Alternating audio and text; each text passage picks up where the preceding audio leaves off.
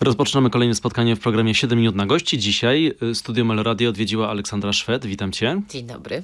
Co słychać? Samo dobro. Samo dobro. W pędzie, w pędzie. Życie w pędzie, jak Super, zawsze. super. Przepę przepędzimy w takim razie nie ciebie, tylko w, przez ten program siebie. Dwie godziny kolejne spędzimy z Aleksandrą Szwed w studiu. Bądźcie z nami. Pomyślałem sobie, że dobrze zaczęłaś, mówiąc, że, że w pędzie, bo o tym pędzie chciałbym też rozmawiać. Przypomnę ze mną Aleksandra Szwed i zaczynamy nasze pierwsze siedmiu- siedmiominutowe spotkanie. Tak patrząc na twoją karierę zawodową, tak sobie pomyślałem, że przepędziłaś przez wiele różnych y, branż i wiele różnych y, takich, może być, odnóg, show biznesu. Który ci To najlepiej? prawda.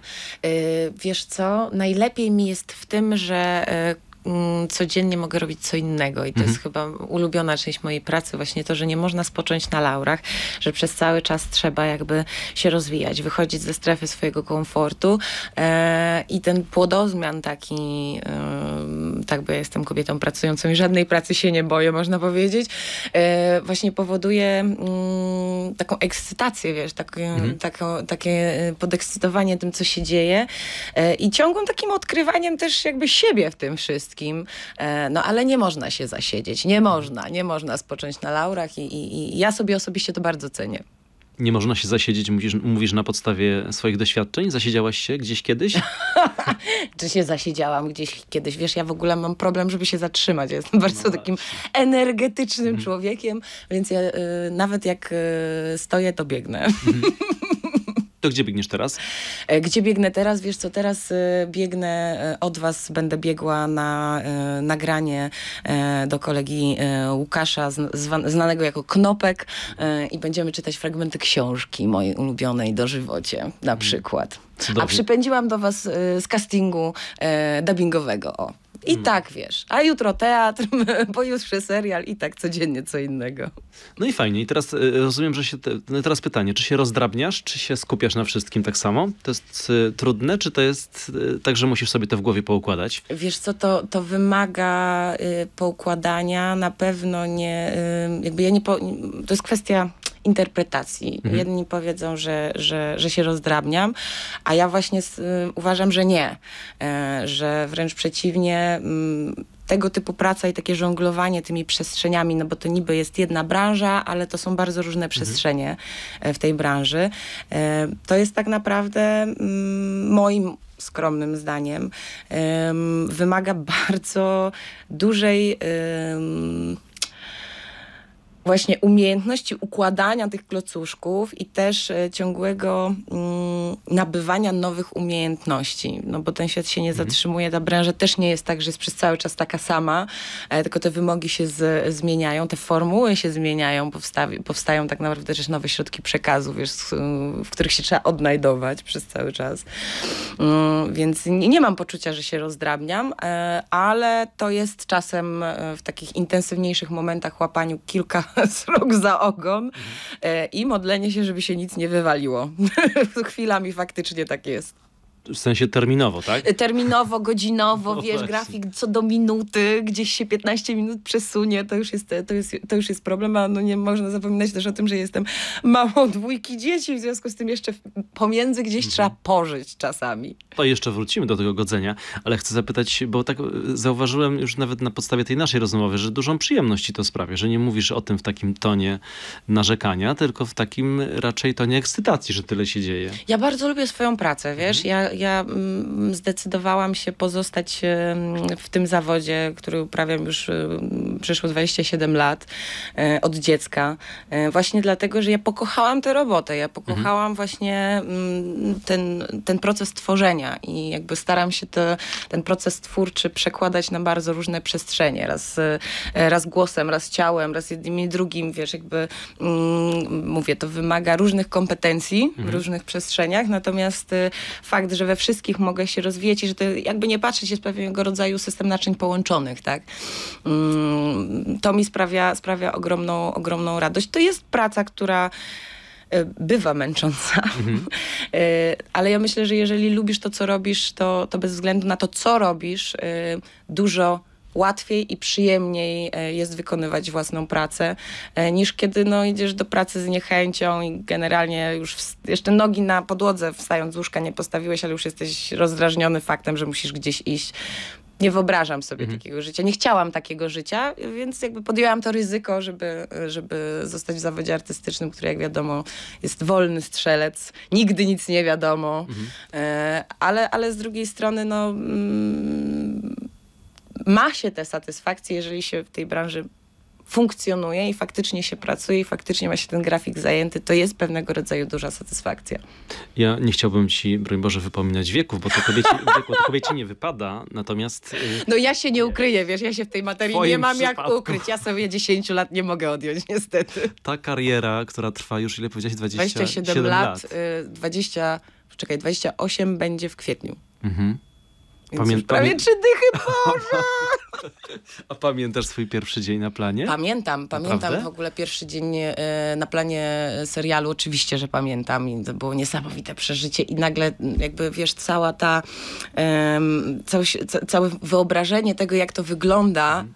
legło w gruzach po prostu, bo wchodzisz i i to wszystko jest nie tak. I to mhm. wszystko wygląda inaczej. W telewizorze przecież wygląda inaczej. E, natomiast e, moje początki były jeszcze troszeczkę wcześniejsze, bo ja zaczynałam od prowadzenia, uczestniczenia w programach dziecięcych mhm. typu e, Ziarno na przykład. Tam mnie chyba po raz pierwszy Państwo w ogóle mogli w telewizji zobaczyć. E, I też pamiętam te, mhm. ten, ten dzień, kiedy pierwszy raz e, weszłam na plan. Ja wtedy miałam e, 5 lat byłam taką, war, warkoczyki takie sterczące miałam, taka byłam rozhasana bardzo e, i, i, pamiętam, że tego dnia mm, nagrywaliśmy program wielkanocny, z okazji, na, na Wielkanoc nagrywaliśmy właśnie odcinek Ziarna mm, i, i, były zwierzątka w studiu ja pamiętam, że ja do domu, nie wiem jak do, tego, do końca do tego doszło, ale mm, trafiłam do domu z kartonem pełnych żywych kurczaków. które wcześniej biegały po studiu i jak skończyliśmy zdjęcia, nagle się okazało, że nie wiadomo, co z nimi zrobić.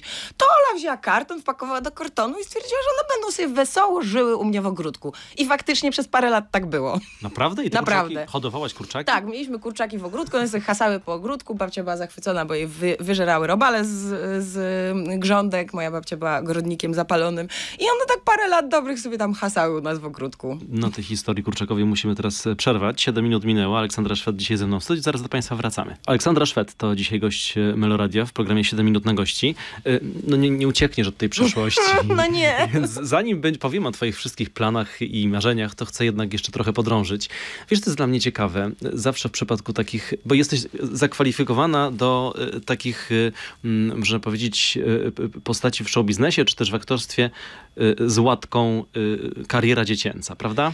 No nie da się ukryć. Nie mhm. da się ukryć, że takie były moje początki, ale w przeciwieństwie do bardzo wielu moich kolegów, którzy po latach jakby gdzieś próbują się od tej metki uwolnić, ja nie mam z tym najmniejszego problemu. Mhm.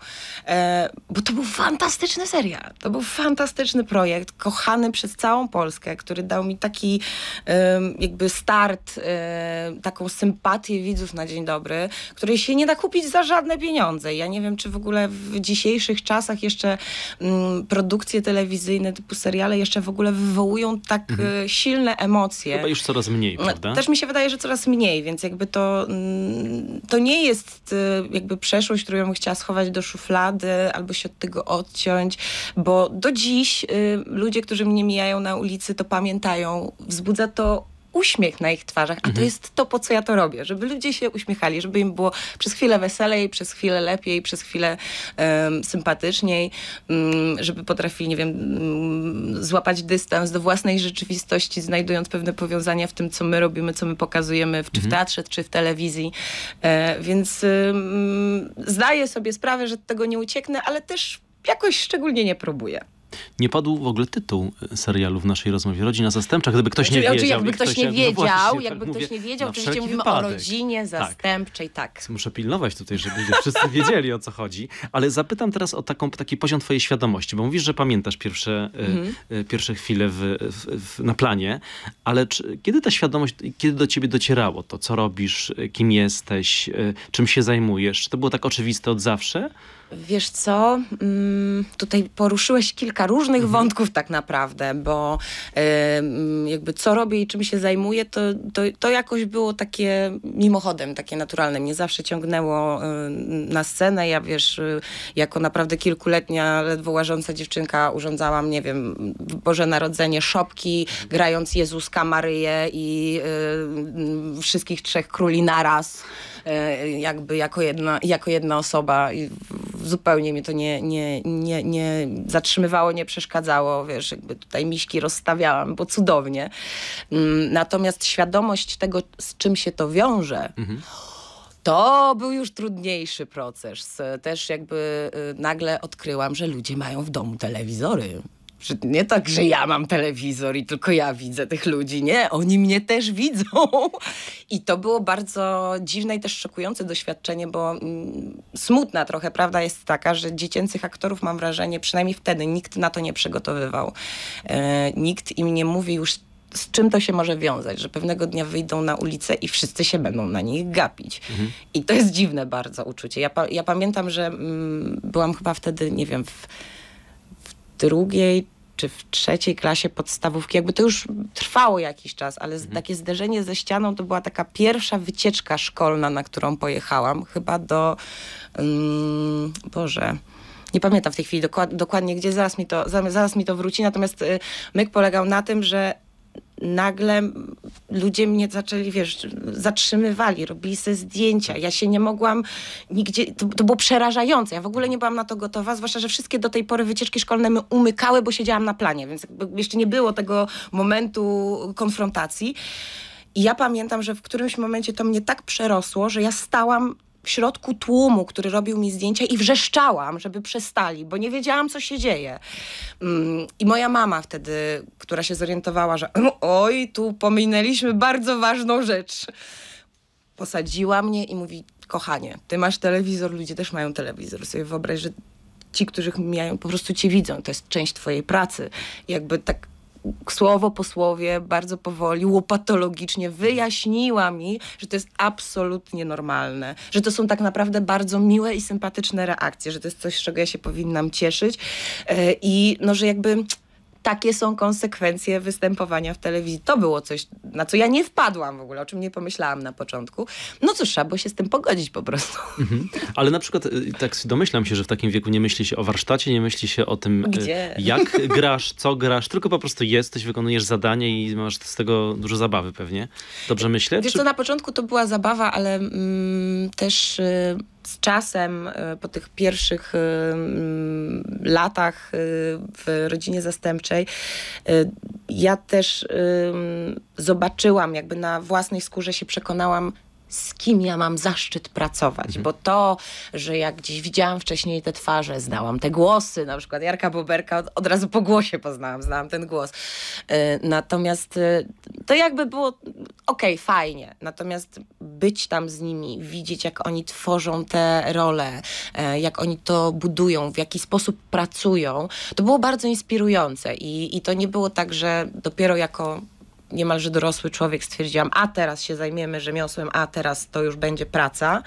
E, tylko gdzieś ta świadomość we mnie już od dziecka rosła, że, mhm. że ja mam wokół siebie złoto, to trzeba z tego korzystać. Ja, ja chodziłam do, do tych aktorów, z którymi graliśmy i, i rozmawiałam z nimi, i pytałam, podpytywałam. Um, zresztą by, bywały takie momenty, że ja w zasadzie mogłam jechać do domu, ale wolałam siedzieć i zaglądać przez ramię w reżyserce ludziom, żeby popatrzeć, jak jak oni to tworzą. Mhm. Mm, więc y, pewnie to nie jest tak, że to, że to było od razu. Y, natomiast y, ja też wcześniej miałam, mm, tak naprawdę moje początki to był teatr, dziecięcy teatr. Mhm. W związku z tym y, tam już się poruszało kwestie rzemiosła, tak, narzędzi, których się używa. ale ta jakby pełna świadomość tego, że ja chcę te narzędzia mieć i chcę móc z nimi y, pracować na konkretnym poziomie, to był ten moment właśnie obserwowania tych fantastycznych aktorów, którzy grali w rodzinie zastępczej. Boże, ich była taka masa, mhm. jakby popatrzeć na y, skład aktorski tego serialu może nie powinnam takich rzeczy mówić, bo to jest strasznie nieskromne, ale uważam, że to jest jeden z najlepiej obsadzonych seriali w historii w ogóle telewizji. Yy, I trudno tak gwiazdorski skład, y, jeżeli chodzi o postaci dorosłe, znaleźć mhm. w, jakiejkolwiek innej produkcji. Mm, więc, więc jakby to oni byli tą inspiracją, to oni wywołali we mnie tę potrzebę, żeby tu pokombinować i, i, i też y, byli fast fantastycznymi absolutnie takimi tutorami, którzy przeprowadzali, bo gdy tylko widzieli, że my mamy, że coś byśmy chcieli, ale nie do końca wiemy, jak to nam zaraz próbowali to podpowiedzieć w taki sposób e, niezwykle ciepły, bo czasami, jeżeli ktoś ci zwraca na coś uwagę, to się czujesz gorszy, głupszy, a oni to robi w taki sposób, że się czułam dowartościowana samym faktem tego, że chcą mi pomóc i chcą mnie prowadzić. To było fantastyczne. I w tym fantastycznym klimacie kończymy te 7 minut, te bo 7 już, minut. już, dawno minęło, nie chciałem ci przerywać. O, wiesz, dla mnie 7 minut to naprawdę nie jest problem. Aleksandra Szwed dzisiaj ze mną w studiu, za chwilę wracamy. Program 7 minut na gości. W kolejnej y, 7-minutowej odsłonie Aleksandra Szwed ze mną. Obiecałem ci, że będę kończyć temat przeszłości. Zamykamy powolutku, ale tak jeszcze chciałem się odnieść do tego. Zdałem sobie sprawę z, z tego tak naprawdę, ile to czasu minęło, jaki to kawał historii i też kawał y, y, aktorskiego życia dla ciebie, kiedy zobaczyłem cię na 30-leciu y, Polsatu, kiedy wyszłaś na scenę obok Maryla Rodowicz. Mówię, no. Boże, ile to jest, jaki to jest kawał historii? Przecież Maryla też grała w no tym tak, serialu. Tak, i to Maryla, tyle to, czasu. To absolutnie. No właśnie, tak sobie wtedy pomyślałem, miałeś taką refleksję wtedy? Teraz ja tu stoję, pięknie ubrana na uroczystej gali i patrzę w przeszłość? Wiesz co, był, był taki moment, kiedy mm, przygotowywaliśmy się do tej gali, bo to było ogromne przedsięwzięcie, nas tam było nie chcę skłamać, chyba 21 prowadzących, więc to była naprawdę e, wielka, wielka machina. Mhm. E, I ja pamiętam, że jak wychodziliśmy na próbę, to mm, Bolek Pawica, którego zresztą serdecznie pozdrawiam, który reżyserował e, to wydarzenie, tłumaczył nam, co się dzieje za naszymi plecami. Mówi, no i wy tutaj będziecie zapowiadać występ Maryli, oczywiście, ciocie Ule trzeba było zapowiedzieć, z radością to zrobiłyśmy z Michelką, a za waszymi plecami będą fragmenty serialu. I my z Michelką y, jakby w toku próby w którymś momencie odwróciłyśmy się i zobaczyłam tę dziewczyneczkę po prostu z tymi sterczącymi warkoczykami yy, i dotarło do mnie, że mój syn jest starszy niż ja na tym zdjęciu. Mhm.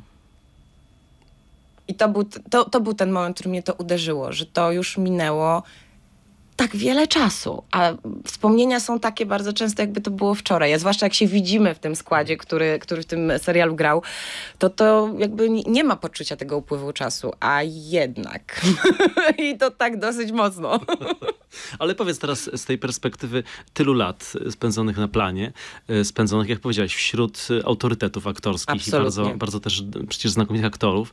Mm, e, trudniej jest potem wchodzić w to dorosłe aktorskie życie, czy nie? Pewnie trudno ci, ciężko ci oceniać, bo nie masz, nie wiesz, jak to może, może być inaczej. Dokładnie, wiesz, Prawda? jakby trudno, trudno mi się postawić w innej sytuacji, w innych butach, bo, ja, bo to, to są moje buty i jakby mhm. ja, ja y, tak, się, tak się podoczyło moje życie, więc nie, nie wiem, czy inni mają łatwiej, czy inni mają trudniej. E, wiesz, no z jednej strony mm, przejście od aktorstwa dziecięcego do bycia jakby takim pełnowymiarowym aktorem już w życiu dorosłym jest problematyczne, bo mm, zauważ, jak tak naprawdę niewielu się to udaje dziecięcym aktorom, żeby zostać w tej branży, tak? Zostać, zostać, nie na chwilę w latach młodzieńczych, tylko do takiego dorosłego, dorosłego życia. Mm, I, I, ja wiem, że jedni po prostu z tego rezygnują, bo się przekonują, że to nie jest to, co chcą robić w życiu, że, że jakby inne przestrzenie są im bliższe, ale jest też wielu takich, których, którzy chcieliby to robić i, i jakoś gdzieś się to wymydla, bo mhm. ja mam to ogromne szczęście, że mi Polska pod, pozwoliła dorosnąć. W sensie takim, że mimo tego, że już urocza dziewczynka gdzieś poszła w zapomnienie, warkoczyki sterczące zniknęły na rzecz takich długich, to mimo tego nadal byłam przyjmowana ciepło, nadal byłam przyjmowana z, z, z z sympatią mhm. widzów, więc ja jestem, bo Polska pozwoliła mi dorosnąć i pozwoliła mi dalej to robić, e, za co jestem ogromnie wdzięczna i, i naprawdę bardzo, bardzo sobie to cenię. Mm, mm, ale z, z drugiej strony, no wiesz, były takie momenty, no trzeba było zdecydować na jakie studia pójdę na przykład mhm.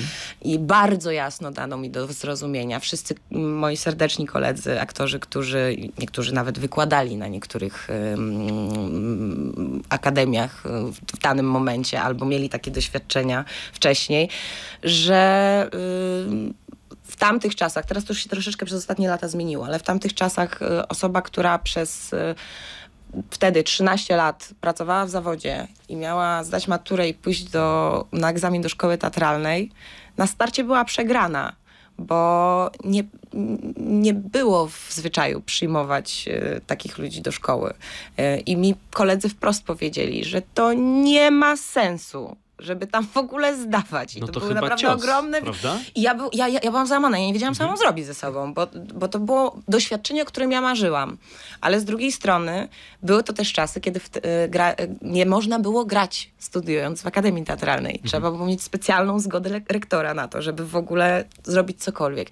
I do mnie dotarło, że stoję przed kolosalnym wyborem, y, żeby spełnić swoje ambicje takie, żeby mieć ten fantastyczny papier, o którym zawsze marzyłam, albo wykonywać ten zawód. Bo po pięciu latach ja możliwe, że nie miałabym do czego wracać. Umówmy się, że mnie obsadzić w polskiej telewizji to nie jest taka wcale prosta sprawa. To nie jest takie, to nie jest takie proste, to nie jest takie oczywiste i, i mm, bywały takie sytuacje w moim już mm, może nie dorosłym, ale dorosłym także, ale jakby już w, tej, w tym późniejszym etapie, kiedy jakby stwierdziłam, że tak, to jest to, co chcę robić i, i jakby no to trzeba robić, tak, to nie można wisieć na jednej produkcji, trzeba zacząć robić mhm. coś jeszcze innego, mm, że, że ja dostawałam informację wprost, że no, ale przecież tym, jak ty wyglądasz, to nikt nie uwierzy, że ty byś mogła, nie wiem, biegać z bronią jako policjantka, mm, która jest, nie wiem, posterunkową na, gdzieś w jakiejś tam historii. Ja mówię, no ale dlaczego w sumie nie? Ale dlaczego?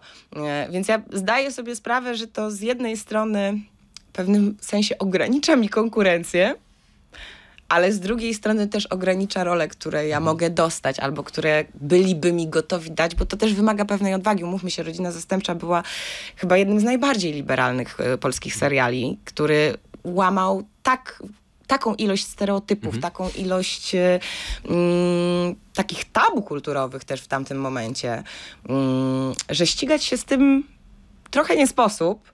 E, I też nie wszyscy mają taką odwagę, żeby to robić do tej pory. W związku z czym, no cóż, trzeba sobie radzić po prostu. I między innymi dlatego ja jestem, mówię, kobietą pracującą, co żadnej pracy się nie boi. Jakbyśmy mieli wyliczać, jaki, jakie zawody ja uprawiam, to byłoby ich z osiem. No. Dobrze, dajmy sobie czas w takim razie. Teraz przejdziemy do kolejnych. Wyszliśmy z przeszłości. Teraz już, idziemy do przyszłości. Tak, już idziemy teraz do przyszłości. Przypomnę, Aleksandra Szwed dzisiaj ze mną w studiu. Za chwilę wracamy. Czas start. Kolejne 7 minut już się odmierza. Aleksandra Szwed nieustająca ze mną w studiu. Yy, powiedziałaś o tych, o tych początkach, powiedziałaś o wchodzeniu w taką dorosłą karierę. Chcę, chcę, zapytać, bo już to słowo dzisiaj padło w naszej mhm. rozmowie, słowo casting. Mhm. Jak ty reagujesz yy, w ogóle na samą instytucję castingu? Jesteś przyzwyczajona? Lubisz yy, bywać na castingach? Wiem, że teraz są też self-tape'y, bo niektórzy te self-tape'y... Jezu, to jest coś, co mnie przeraża. Self-tape'y no. self to jest coś, co ja nie umiem. Zupełnie zupełnie nie umiem i to był jeden z powodów, dla których się bardzo, bardzo się ucieszyłam, że jakby to zamknięcie pandemiczne się zam skończyło, mhm. bo to ja, ja, ja, ja nie umiem w ten sposób. Ja jestem człowiek starej daty. Czyli Przynajmniej po zawodowo. prostu, musisz mieć żywego ja człowieka, mieć operatora żywego kamery, człowieka, tak? Ja muszę mieć kontakt, ja muszę się dowiedzieć, jaki jest kontekst, jakie, jakie, jak, mhm. jak, i, i, jaką wersję oni chcą, bo przecież to ja mam, y, y, że tak powiem, dać to, co trafi w gusta tego, który ma to mhm. tworzyć. W związku z tym, yy, tak. Natomiast nie, casting nie wywołuje we mnie ani żadnych ciarek, ani, ani, ani obrzydzenia, absolutnie wręcz przeciwnie. Ja, ja bardzo lubię chodzić na castingi, yy, bo to jest, casting to jest taki moment wyjścia ze strefy komfortu. Bardzo często jadąc na casting nie masz pojęcia, do jakiej roli będziesz castingowany, jakie teksty mhm. masz, czy jakie piosenki do zaśpiewania. Yy, I jakby dowiadujesz się tego na miejscu i to jest improwizacja. Ty musisz to zrobić tu i teraz to jest jakby taka forma sprawdzenia się najczystsza z możliwych moim mhm. zdaniem, bo po prostu stajesz przed człowiekiem, musisz go zachwycić i on musi z setek innych ludzi stwierdzić tak, ty to zrobiłeś najlepiej. No to jest ogromna satysfakcja. Poza tym to jest też tak, że nawet jeżeli w danym miejscu się nie uda, to tę, branżę tworzy ograniczona ilość ludzi, którzy zmieniają później produkcje, w których robią, mogą o tobie pamiętać. Właśnie dzisiaj e, miałam tę przyjemność, że e, po bodajże 10 latach się spotkałam z panią, która mnie na ten casting ściągnęła, mhm. bo pamiętała, jak e, wypadłam wtedy i była bardzo niezadowolona, że to nie ja ten casting wybrałam. W związku z tym teraz zobaczyła możliwość i proszę.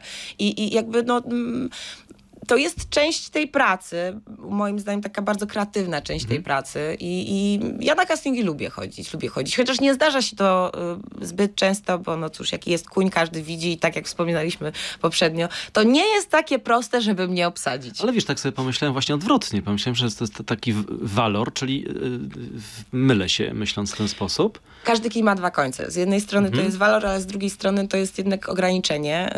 Y, chociaż mówię, ja tu liczę na to, że no, czasy się zmieniają i też wchodzą młodzi, odważni ludzie. Ja już niebieskooką blondynkę grałam w swoim życiu czterokrotnie, e, więc jakby co, to zapraszam. też można. No tak, to jest, jesteśmy y, w, w, na castingu, jesteśmy powiedzmy mm. w, w, serialu, teraz przejdźmy na, na, scenę, do teatru, bo tam też bywasz. Tak, bywam, często i uwielbiam. I fajnie jest? Fajnie. Uwielbiam, bo tam jakby telewizja jest fantastyczna, możesz się pobawić, e, stworzyć niesamowitą iluzję, niesamowitą historię, ale nie masz bezpośredniego kontaktu z widzem. Mało tego, jest odroczony moment oceny mhm. tego, co zrobiłeś, bo to musi zostać zmontowane. Na to nie masz wpływu. E, jakby to, cały ten materiał mm, filmowy przechodzi przez e, bardzo długą postprodukcję, zanim trafi. I ten finalny e, efekt nie jest tak zależny od ciebie, w takim stopniu, jak w momencie, kiedy jesteś na deskach teatru tu masz bezpośredni kontakt z widzem, który natychmiast reaguje na to, co robisz i albo reaguje, albo nie reaguje. I ty się musisz dostosować do tego, dla kogo grasz. Mm, mm, z kim grasz, bo przecież te składy się jeszcze zmieniają y, i, i naprawdę to bywa czasem tak, że mm, zmieniają, zmienia się jedna czy dwie osoby i to jest zupełnie inny spektakl. E, więc to jest taka żywa materia. To jest coś, co mnie absolutnie fascynuje. To y, tu nie ma dubli, tu nie ma powtórek. Tu jak się coś wysypie, to musisz zrobić tak, żeby widz się o tym nie dowiedział. I to jest największy sukces. A to jest historia z tą drabiną, co ci na głowę spadło? Tak, to, ta, to jest prawdziwa historia, to jest prawdziwa historia y, z przeglądu teatralnego, y, gdzie, gdzie wystawialiśmy bodajże spektakl Eutedemis, o ile pamiętam. Tak, jak drabina to Eutedemis na pewno. E, taki, wiesz, trochę, trochę taki współczesny, dramatyczny mm, tekst poetycki. Mhm. E, I była zamontowana mm, drabina, na której była taka długa, długi, taki długi, długi kij i ściana z gazety bardzo krzykliwe tytuły, tam morderstwa, nie wiadomo co. I ja grałam taką bardzo dramatyczną scenę, która z jednej strony miała być e, kulminacyjnym punktem przemiany bohatera, z drugiej strony technicznym sprzątaniem sceny, bo po prostu musiałam to zerwać i ściągnąć, żeby zrobić miejsce dla kolegów, którzy wchodzili na scenę. E, I okazało się, że podczas montażu nie poinformowano pana, który był za to odpowiedzialny, że nie może przypiąć gazety, musi tylko przypiąć ten kij. A on to jeszcze chciał dobrze nam zrobić. Przykleił całą tę gazetę do, te, do tej drabiny, z drugiej strony do okna, w ogóle no cuda nie widzę. I jak ja szarpnęłam za tę gazetę, to ta drabina tak po prostu poleciała, krew się polała. Ja nie wiedziałam przez chwilę, gdzie jestem. Zobaczyłam tylko tak w takim rozmazanym obrazie moją mamę, która biegła z końca sali, przerażona, widząc, co się stało i tylko pamiętam, że ją tak zatrzymałam, po prostu stój, show must go on i gram dalej. E, no, finał był tego taki, że ewidentnie musiałam zrobić coś dobrze, bo dostaliśmy dodatkową, ufundowaną na miejscu przez jurorów nagrodę za efekty specjalne, których w tym spektaklu w ogóle nie było. Więc swoje zrobiliśmy, nagrody były, jakby wspominam po latach to doświadczenie bardzo dobrze, ale głowa bolała przez kilka tygodni i śnieg był konkretny. A zostawiając drabinę i tę historię, to masz takie poczucie, że w teatrze jednak więcej zostawiasz z siebie? Wiesz co, ja się staram e, bez względu na to, co robię, czy pracuję w teatrze, czy pracuję na planie filmu, serialu, czy pracuję tylko głosem, lektorka, dubbing, wszystko jedno. Ja staram się zawsze dać z siebie 150% i zawsze dać jak najwięcej. Faktycznie e, teatr pod tym względem jest znacznie bardziej wymagający fizycznie, bo to jest mhm. spektakl, który trwa 2-3 godziny longiem. E, jakby nie macie tylko wtedy, kiedy schodzisz w kulisę i w zależności od wielkości roli e, możesz w te kulisy schodzić albo możesz być na scenie przez 3 godziny i przez cały czas na pełnej intensywności wszystko robić. Mm, wszystko jakby obie te przestrzenie mm, mają sw swoje plusy i minusy. I ja obie bardzo lubię, ale zupełnie z innych przyczyn, tak? Właśnie dlatego, że, mm, że mogę robić niby to samo, ale zupełnie co innego. No tak, to tak zakręciłeś, już nie wiadomo Tak co chodzi na zakręciłeś. sam koniec. Wiem, że się, widzę po twoim wzroku, że 7 minut już minęło, więc chciałam tak, wiesz, Tak, szybciutko taką, zakończyć. Taką puentę. Dobrze, to byliśmy już tak teraz i w teatrze, i w, w serialu. Za chwilę jeszcze w, jeden rejon wejdziemy. O. Aleksandra Szwed jest z nami. Bądźcie też. To wracamy do tej kolejnej przestrzeni y, z Aleksandrą Szwed y, oczywiście. Tam. Pomyślałem sobie, że show biznes to będzie taka przestrzeń, w którą trzeba będzie wejść. Mhm. Ale wejdę najpierw tak ze strony telewizji i programu Twoja twarz brzmi znajomo. Który wygrałaś sobie tak po prostu? No sobie wygrałam po tak po prostu. prostu? Wiesz co? Tak, tak niechcący można by nawet powiedzieć, bo yy, szczerze ja już troszeczkę straciłam rachubę tych edycji, już było Mhm. tak dużo, tej chwili chyba 17 czy 18 edycja ma być w tej chwili. Ja byłam w piątej edycji Twojej twarzy. Natomiast ym, ja nie poszłam wygrać tego programu. Ja poszłam e, po kolejne narzędzia do mojego piórniczka, bo ten program to jest y, coś tak niebywałego, to jest tak niebywałe wyzwanie na tylu przestrzeniach dla, ar- dla wokalisty, dla aktora, dla artysty dowolnego tak naprawdę. Y, Jest tyle elementów, które musisz złożyć w całość i masz ekspertów, którzy ci mówią, jak to zrobić. I ja dla tych ludzi tam poszłam, żeby oni mi pokazali te skróty, E, a przede wszystkim nauczyli mi, mnie pracy i pokazali mi, jakie spektrum w ogóle ma mój głos, co można z nim zrobić, bo szczerze się przyznam, że ym, mój głos zawsze był dla mnie dosyć problematyczną rzeczą. Ja nie lubię brzmienia swojego głosu. Ja jak na kobietę mam bardzo niski głos, bardzo niski. E, co wprawiało mnie przez lata w kompleksy, bo się czułam mało kobieca w związku z tym, bo ja byłam pani bucząca. E, I nagle się okazało, że ja mogę śpiewać sopranem, mogę śpiewać falsetem, mogę brzmieć jak Reniusis, a mogę brzmieć jak e, Ładysz. I to jest coś, w co bym wcześniej nie uwierzyła. Natomiast ja jestem chyba jedynym uczestnikiem polskiej edycji, nie wiem czy na świecie, ale na pewno w Polsce, który nie wygrawszy żadnego odcinka, wygrał finał tego programu. E, I mało tego, nie wygrawszy żadnego odcinka, wszedł na pierwszym miejscu do finału. E, Więc jakby też mam poczucie takiej rzetelnej roboty, bo jeżeli ja przez cały czas byłam, załóżmy, w tej pierwszej czwórce, bo tak musiało w zasadzie być przez większość odcinków, żebym na takiej pozycji się do tego finału dostała, to znaczy, że bez względu na to, na jaki repertuar trafiłam, jak mi trudno nie było wokalnie sama ze sobą, to udało mi się to skleić w jakąś całość, która przemówiła i do widzów, i do jurorów, i do moich kolegów, którzy siedzieli na kanapach. E, Ten program otworzył mi głowę bardzo i pokazał mi, że tak naprawdę nie ma rzeczy, której nie jestem w stanie zrobić, jeżeli założę, że jestem w stanie ją zrobić. Że moja głowa jest sky is the limit, tak? To się wszystko dzieje w mojej głowie. Jeżeli pozwolę sobie uwierzyć w to, że jestem w stanie coś dźwignąć i pozwolę sobie zaufać, to mogą się wydarzyć fantastyczne rzeczy. I, te, I w tym programie takie fantastyczne rzeczy się naprawdę działy.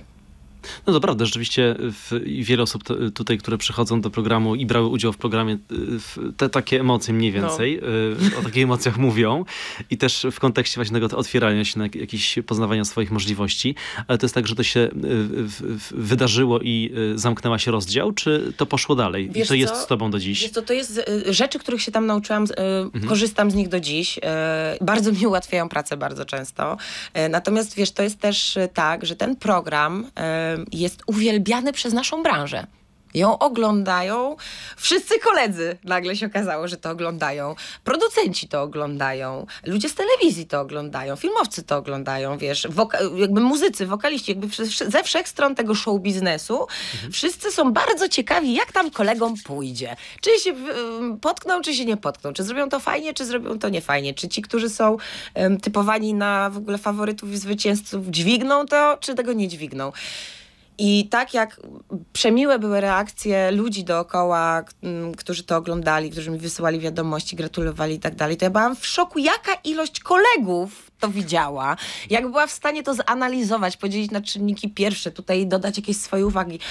Ym, więc jakby ten program jest ze mną do dziś, bo bardzo często jak przychodzę do nowego miejsca, to się dowiaduję, że na przykład ta osoba, która mnie tam ściągnęła, widziała twoją twarz, brzmi znajomo e, i jej się podobało. Więc no bez wątpienia dla, tego, żeby jakby utwierdzić mnie, jakby usadzić, tak, osadzić w, w branży jako, jako osoby, która faktycznie robi i, i, i nigdzie się nie wybiera. Mhm. to to był dosyć duży krok.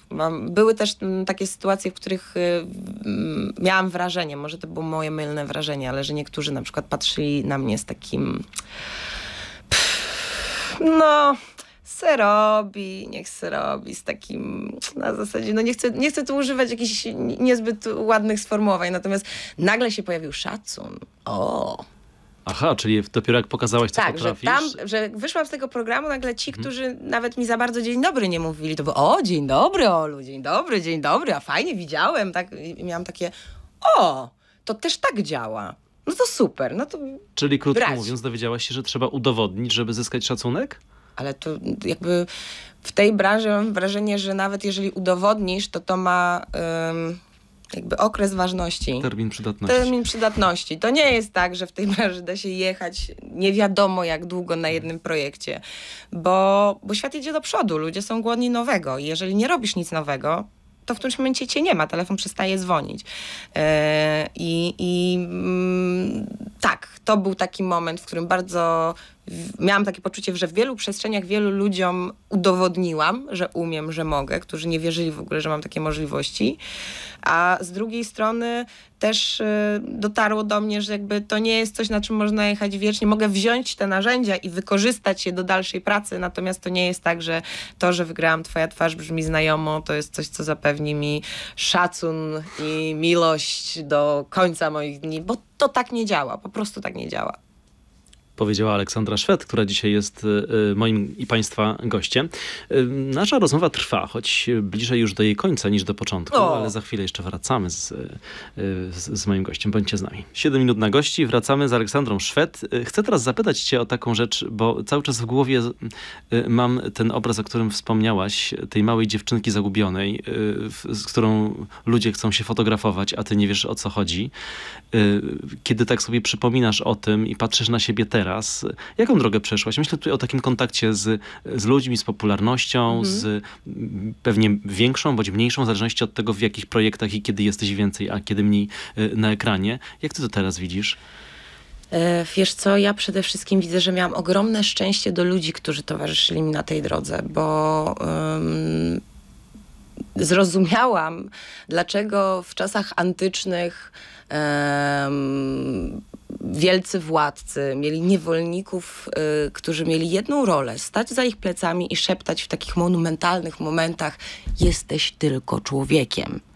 E, I ja bardzo się cieszę, że miałam takich ludzi dookoła, którzy mnie w momentach, kiedy mi już zaczynało coś tam się odklejać za bardzo, potrafili mi pokazać, ale kochana, dziecko, to jest tylko praca ta praca nie jest lepsza, ta praca nie jest gorsza. Ale to jest praca. Jakby nie, nie dodawajmy tu nie wiadomo czego. W związku z tym jakby to, w jaki sposób y, moi rodzice bardzo mądrze podchodzili do, do sprawy. To nie było tak, że och, nasze dziecko teraz się realizuje artystycznie i ono jest takie fantastyczne i cudowne i ono już nic nie musi. Nie! Baza ma być zrobiona, lekcje odrobione, y, pranie wstawione, śmieci wyniesione. A jak nie zrobione, no to telefon do producenta. Kończymy tę zabawę, bo dla nich dużo dłużej niż dla mnie to była zabawa. Mhm. E, I ja już jakby miałam pewne przekonanie, pewne wizje swojego życia, a moja mama na przykład stwierdziła, a Ola się tak bawi. Ola się bawi. Aż pewnego dnia musiała się pogodzić z faktem, że ja się nie bawię. Po prostu miała trochę inną wizję mojej przyszłości. Myślała, że będę na twoim miejscu, że będę dziennikarzem. No widzisz. Bardzo jej zależało na tym, żebym skończyła dziennikarstwo i żebym, żebym albo pisała, albo właśnie realizowała się w radio. Natomiast y, ja, ja miałam zupełnie inny pomysł i parłam do tego um, wielkim uporem. E, natomiast bardzo jestem wdzięczna za, za ich podejście, za to, że ja miałam być dzieckiem, które musi skończyć szkołę. Ja miałam być dzieckiem, które um, ma być dzieckiem. Mhm. Ma się też bawić, ma um, mieć jakby swoją przestrzeń, swój świat też poza tym, co um, po latach przełożyło się na to, że ja do w ogóle zjawiska popularności mam bardzo ambiwalentne uczucia i bardzo duży dystans, bo dla mnie nie o to w tym chodzi. Jakby to nie jest clue. Ja wiem, że są w tej, zwłaszcza w tej chwili mam wrażenie, namnożyło się takich ludzi, którzy próbują różnymi drogami wejść do tego świadka, bo pociąga ich pojęcie popularności. Tylko ja po 27 latach mogę powiedzieć, że mm, jakby te dymy i te w ogóle kolorki to tak nie w tym leżą w ogóle. Leżą w tym, że e, nie wiem, po latach możesz się dowiedzieć, że to, co zagrałeś, e, wpłynęło na czyjeś samopoczucie i na czyjeś życie. Ja miałam, miałam takie sytuacje, że ktoś, na przykład byłam, słuchajcie, w domu dziecka, który powstał dlatego, że państwo oglądali rodzinę zastępczą i stwierdzili, że tak oni chcą, żeby ich życie też tak wyglądało i że to jest fantastyczne, że można dać mhm. innym dzieciom e, możliwość, szansę startu no słuchajcie, no to, to jest coś niebywałego, no i, i, i, i widzieć to, że faktycznie taka rodzina istnieje, że, że, że, że oni żyją, że te dzieci są szczęśliwe, że mają zupełnie inny start, że mają ludzi, którzy ich kochają, po prostu ich kochają. I że przyłożyło się do tego chociażby w sposób absolutnie nieświadomy mały paluszek, to jest to a nie to, ile masz lajków na Instagramie albo jak klikają się twoje posty. To jest w ogóle nieistotne w tym wszystkim. E, tylko to, jak wpływasz na tych ludzi, których mijasz. I czy oni wychodzą z teatru z uśmiechem na ustach, czy, czy, czy, czy nie wiem, zastanawiają się nad czymś, czy, czy coś ich dotyka. Jakby to jest to, co mhm. mnie najbardziej kręci w tym zawodzie i sprawia mi największą radość, że, że mogę właśnie chociaż w drobnym stopniu zmieniać ludzkie nastroje, zmieniać ich życie w sensie takim, żeby czynić je radośniejszym, weselszym, e, że na chwilę mogą zapomnieć o swoich problemach i po prostu tu być przez te dwie godziny, patrząc na tę scenę i płacząc ze śmiechu. I to jest to. Idealistyczna trochę wizja świata. Bardzo. Ja jestem nie? w ogóle, ja jestem pod tym względem niereformowana. Ale zderzasz się czasami ze ścianą, kiedy y, przychodzi jednak y, refleksja, nie, nie, to jednak y, nie te emocje, nie uczucia, tylko te lejki się liczą? Wiesz co, y, oczywiście, że się zderzam ze ścianą, tylko ja mam nieznośną tendencję do tego, że jak trafię na taką ścianę, to zwykle próbuję obejść. e, albo stwierdzić, że okej, okay, no dobrze, jest taka ściana i niech ona sobie będzie, a ja i tak będę robić swoje. po swojemu. No bo to nie chodzi o to, żebyśmy wszyscy robili wszystko tak samo, tylko chodzi o to, żeby jakby znaleźć w tym swój land, swoją przestrzeń i się w niej realizować. A to, że dla kogoś, to nie jest, przepraszam, ja chciałam nadmienić jedną bardzo ważną rzecz. Moje stwierdzenia nie są oceniające. Ja nie oceniam tych, którzy to robią dla lajków, ja nie oceniam mhm. tych, którzy robią to dla popularności. Może im to jest właśnie potrzebne. Może im to daje szczęście. Mnie daje szczęście co innego i to nie jest gorsze ani lepsze i ich nie jest gorsze ani lepsze. Po prostu jest inne. I chwała Bogu, że jest inne, bo dzięki temu wszyscy się tu mieścimy, tak? Jakbyśmy wszyscy chcieli dokładnie to samo, no to byłoby tylko taki malutki ogródek do przekopania. A tak, no to jest pełna, pełen wachlarz. Proszę bardzo, każdy wybiera to, co chce. I tak sobie pomyślałem jeszcze, że ty chyba uparta jesteś. Nie? Bardzo. Mm. Ja jestem Super strasznie uparta. Jakbyś zapytał moją lepszą połowę, to by ci powiedział, że pewnie niekoniecznie.